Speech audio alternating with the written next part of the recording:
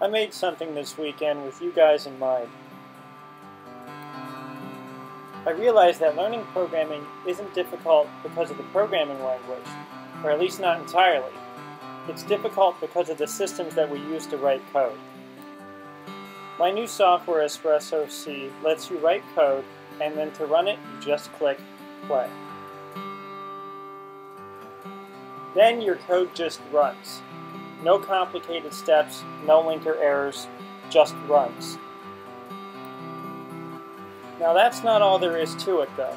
You can also write full-fledged game codes against the SDL game library. Once again, you just click play and your game just runs. No complication. And also, because this is a learning tool, if you want to learn how a piece of code works, you just click on it and you get contextual help right there in the program. This also works with 3D programming using OpenGL. Once again, write the code and click play.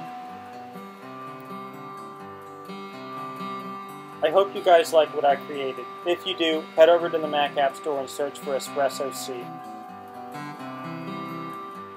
Thank you for watching.